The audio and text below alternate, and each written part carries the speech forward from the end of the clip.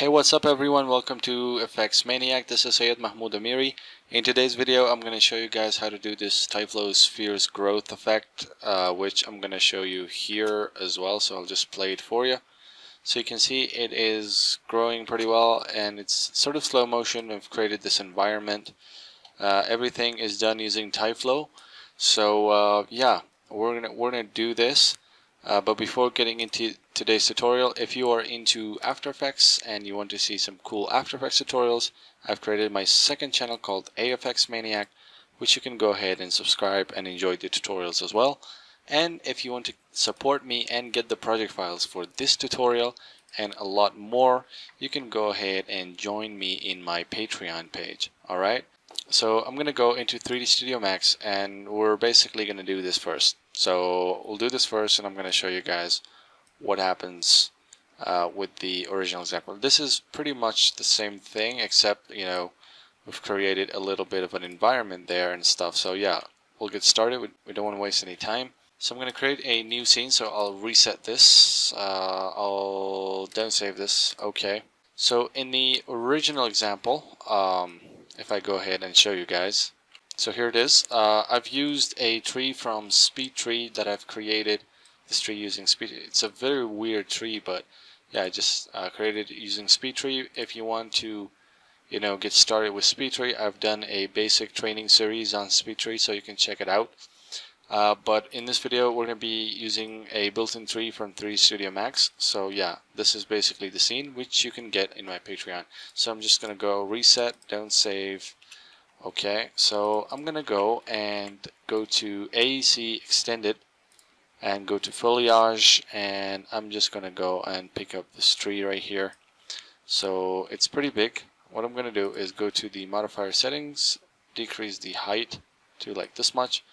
We don't want the leaves, we don't want the fruits, no flowers, no trunk. Oh, we do want trunk branches and roots we don't want and we want the viewport display the canopy mode to be never and we want the detail to be low so this is basically it. And yeah so let's see here the density we can we can increase or decrease this uh, pruning value. If you go set it to highly detailed you can go and increase this to be able to sort of control how much you want but we'll set this to low for now. And I think this is it so I'm going to go and convert this to editable mesh and again convert it to editable poly. So yeah, I want to select the branches. So I'm going to go to element, select this element, uh, hit control I to select the inverted mode and I'm going to go and set this to ID 3 because we want the particles to be born only on these like faces.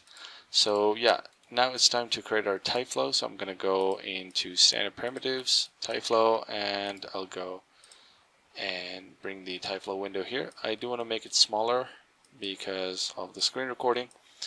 So I'm going to give birth to some particles. I'll go start with 0 to 0, probably like 250 and I want them to be on top of the object. So I'm going to hit tab and position object and by the way, if you are new to Tyflow and you want some basic tutorials, I've already done some tutorial on Tyflow, uh, which is right here, Tyflow for absolute beginners. And then spline and cloth and all that. So it, it will help you out if you are new. So yeah, check them out. Um, I want to pick this object because I want the particles to be on top of this object. But as you can see, the particles are everywhere, right? If I change the color to sort of red so I can see a little better, we want the particles to only be on the faces that we've selected. So I'm just going to go down here, density by material ID and set this to 3. So now the particles are only in the places that we've only selected. Then I'm going to go and give them a shape. So in the original example, I've basically used like a shape that I'm just going to create right now. So uh, I'll go here I'll show you guys how to create it. So I created like a sphere. So once I've created my sphere, I'm just going to go and select the first polygon here and hold down shift and click. Uh, it'll give you a preview of like selecting the whole loop. So I'm just going to click that. So control click again on another set of polygons and hold down shift and click and do the same thing. Control and hold shift for the preview and do it. And we want to do it for these many of them.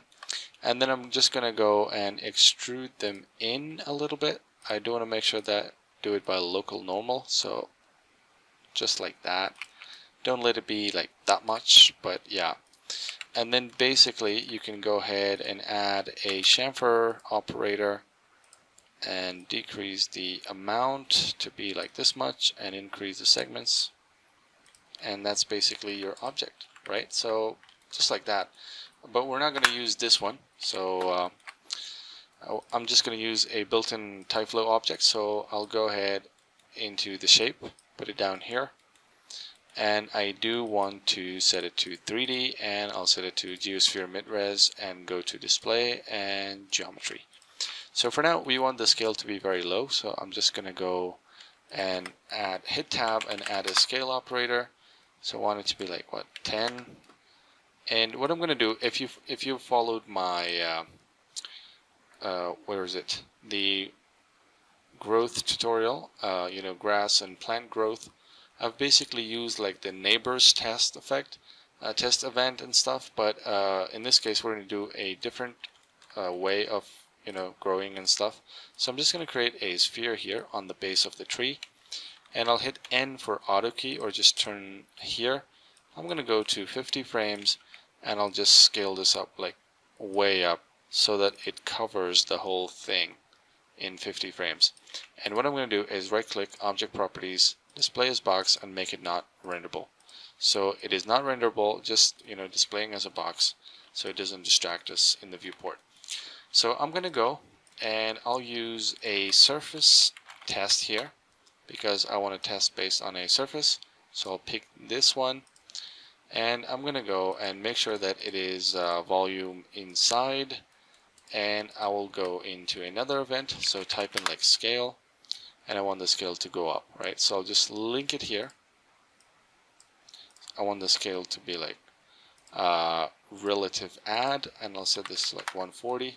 So now you will see that these spheres will grow, but they're growing like, you know, infinitely. So what I'm going to do is a very cool trick. So you can see they're growing, but they're growing very, you know, uh, forever. So I'm just going to go into timing, set the timing to event age, and set it to 10. So they're only going to grow till the 10 frames of this event.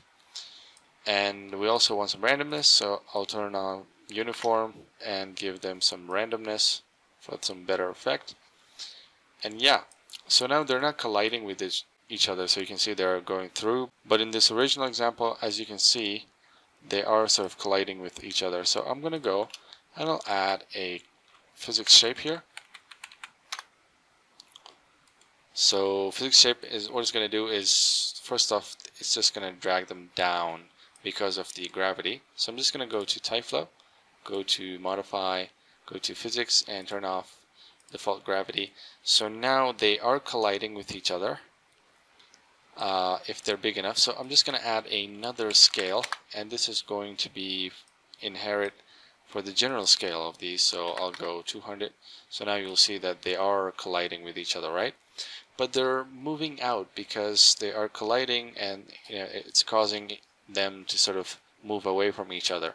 So what I'm going to do is I'll add a uh, object bind here and I'll just put it here and I'm going to pick this object. So now they're bound to that object but you can see they have this weird sort of movement. So I'm just going to go to lock to surface and set this sticky to 60 uh, but still, you know, they got that sort of wobbly motion which we don't want. So what I'm going to do is I'm actually going to go into the timing of this one and set it to event age and set it to 10 and also go to the physics shape timing and set it to 10 frames. So now you will see that they're sort of colliding but they're, you know, again, they're moving away. They're fine, but they're moving away, right? So what I'm going to do is slow this down. So I'll hit tab and type in a slow operator and take this and set it to like what 60 so that they're slowing down and not moving. So now you can see that yeah now they're nice. So maybe like 50 so they're a little free to move but you can see that we basically have the effect right? So they're growing.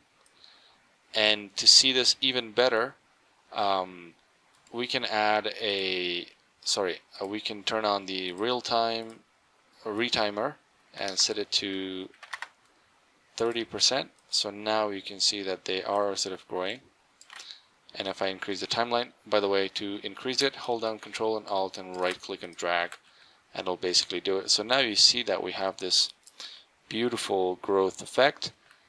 And just like that right?